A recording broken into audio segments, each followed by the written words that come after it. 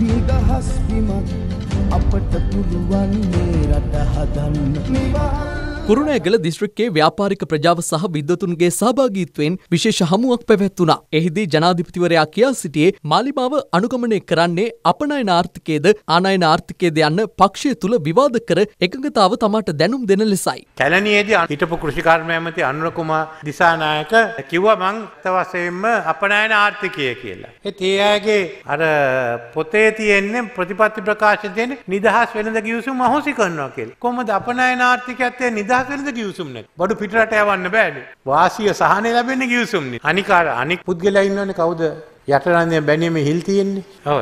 එයා ගිහින් නඩු දැම්මනේ එයයි සූර්ය පෙරවන නඩු දැම්ම මං ආර්ථික ප්‍රවර්තන පනත ගෙනාම අපනයන ආර්ථිකයේ මේ රටේ ව්‍යවස්ථාවට විරුද්ධයි කියලා.